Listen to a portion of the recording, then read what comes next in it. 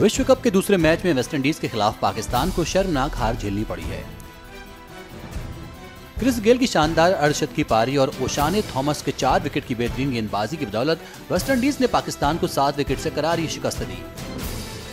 शुक्रवार को टेनब्रिज के नॉटिंगम स्टेडियम में खेले गए इस मुकाबले में टॉस हारकर पहले बल्लेबाजी करते हुए पाकिस्तान की पूरी टीम 105 रन बनाकर ऑल आउट हो गई।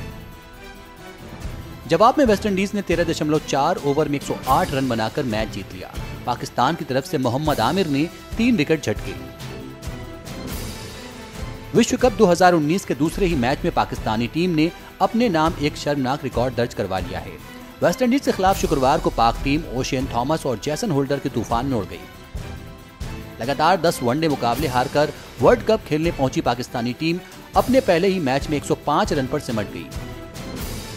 टेनब्रिज के नाटिंगम में खेले गए इस मैच में पाक टीम कभी मुकाबले में नज़र नहीं आई। लगातार अंतराल में विकेट गिरते रहे। नतीजतन ताश के पत्तों की तरह पूरी टीम 21.4 ओवर्स में ही सिमट गई।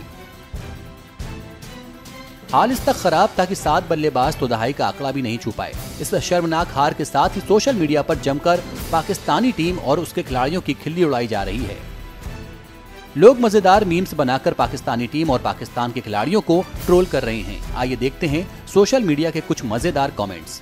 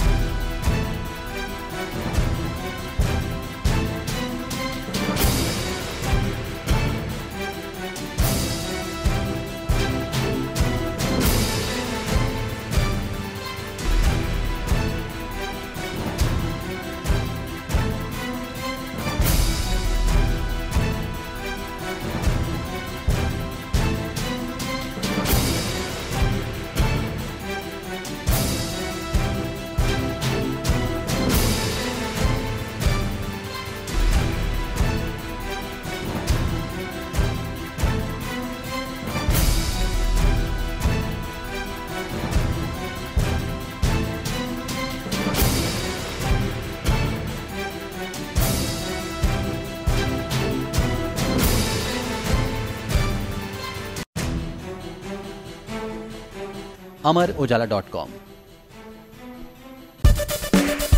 Amar Ujala group का media school the Aarohan media school यानी टैम्स दे रहा है सुनहरा मौका।